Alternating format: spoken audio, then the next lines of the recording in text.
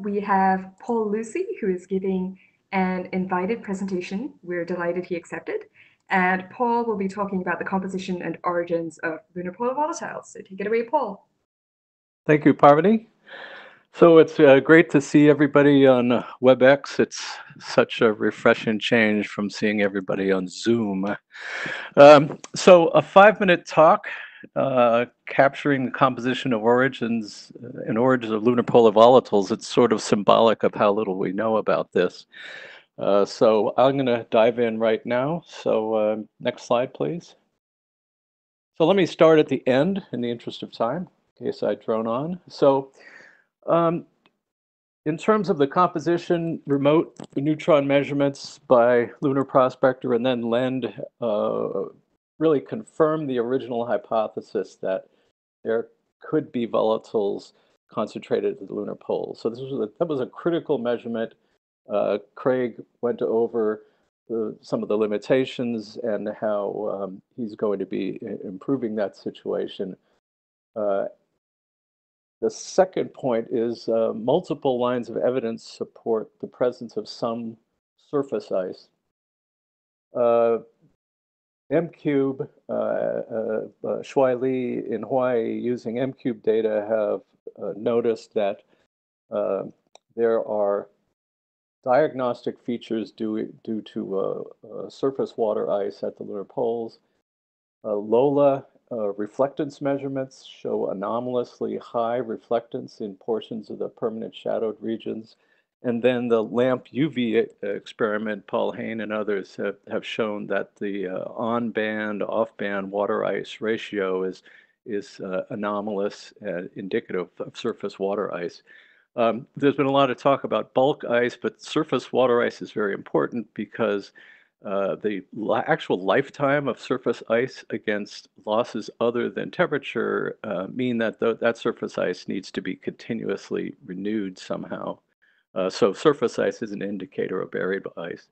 Speaking of buried ice, uh, uh, LRO and Earth-based bistatic radar, Wes Patterson and his folks, they may have started to detect buried ice using radar measurements.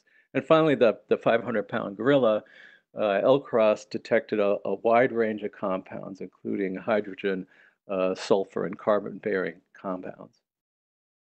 And next slide, please. So as I mentioned, LCROSS uh, um, made some critical measurements. I'm going to make an assertion, might have an actual time to talk about a slide, but uh, uh, both cometary and volcanic sources appear to be present uh, based on the LCROSS data.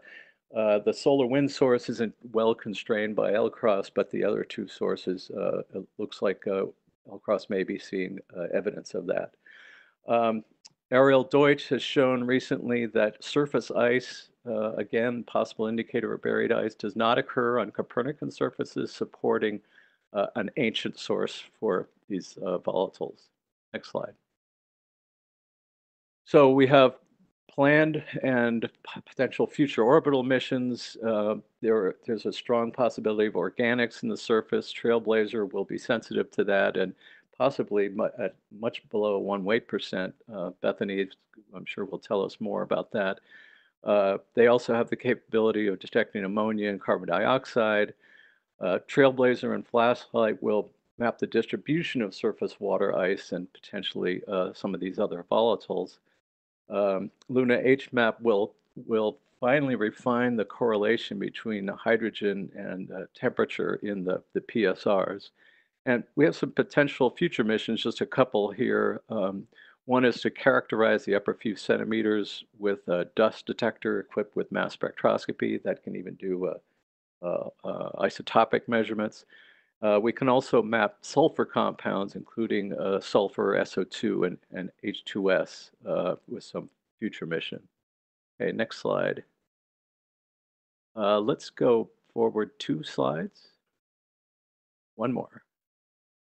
Okay, so these uh, in in uh, red One and minute. blue are the uh, are the, the signatures, uh, elemental signatures of cometary sources and water uh, um, volcanic sources. So red is the volcanic and, and blue is the cometary.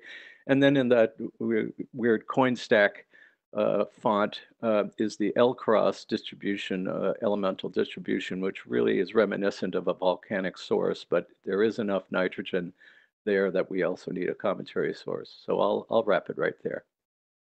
Thanks, Parvathy.